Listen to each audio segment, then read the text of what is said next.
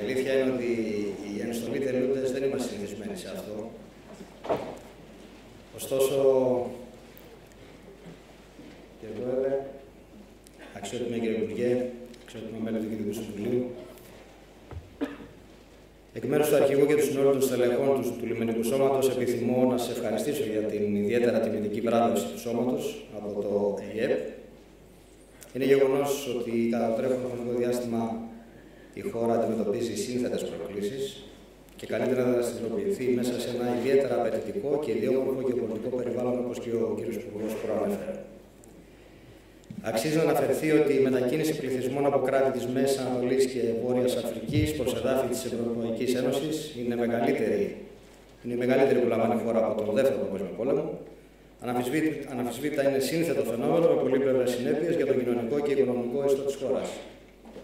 Η Ελλάδα σήμερα αντιμετωπίζει οξύτατο ζήτημα όσον αφορά στην εισρωή προσφύγων, ωστόσο η αποτελεσματική διαχείρισή τους είναι ένα ζήτημα που ξεπερνά τα εθνικά σύνορα και υπό το πρίσμα αυτό απαιτούνται δράσεις σε ευρωπαϊκό και διεθνές επίπεδο. Είναι αλήθεια ότι ο φορέας που βρίσκεται στην πρώτη γραμμή, στην πρώτη ανταπόκριση και διαχειρίζεται το ζήτημα των ελληνικών σώμα. Με γνώμονα τους εθνικούς και διεθνείς κανόνες δικαίου και με προτεραιότητα την ασφάλεια της ανθρώπινης ζωής, το σεβασμό στα ανθρώπινα δικαιώματα, το λιμενικό σώμα αποκρίνεται σε καθήκοντα διάσωσης κινδυνευόντων προσώπων στη θάλασσα, στο πλαίσιο της αδιάλειπτης επιτήρησης των θαλασσίων συνόρων, όπως προαναφέρθηκε. Ο διαρκής αυτός αγώνας αποτυπώνεται με πραγματικά νούμερα.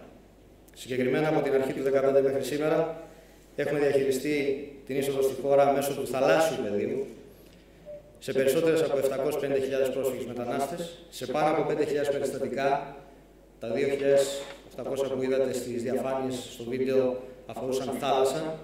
Τα 5.000 πάνω από 5.000 περιστατικά είναι θάλασσα αλλά και απόκρινε βραχονισίδες σε όλο το μέτωπο του Ανατολικού Αιγαίου, σώζοντας κυριολεκτικά μέσα από το νερό κοντά στις 100.000 ψυχές μέχρι σήμερα. Αριθμός που είναι μοναδικός για τα παγκόσμια χρονικά. Κυρίες και κύριοι, το λιγόλεπτο δικοακουστικό υλικό που παρακολουθήσατε είναι ένα ελάχιστο δείγμα της προσπάθειας και της αγωνίας που βιώνουν καθημερινά τα στελέχη του σώματος.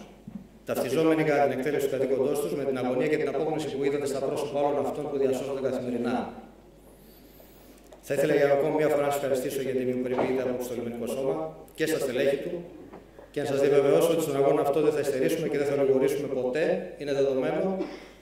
Ε, μαζί μας τα στελέχη που βλέπετε στη σκηνή είναι από τα πλοία ανοιχτής θαλάσσης, πληρώματα, άντρε και γυναίκες. Με αυτά τα λόγια σας ευχαριστώ ακόμα μια φορά. Καλά Χριστούγεννα σε όλους Thank you. Thank you very, very much.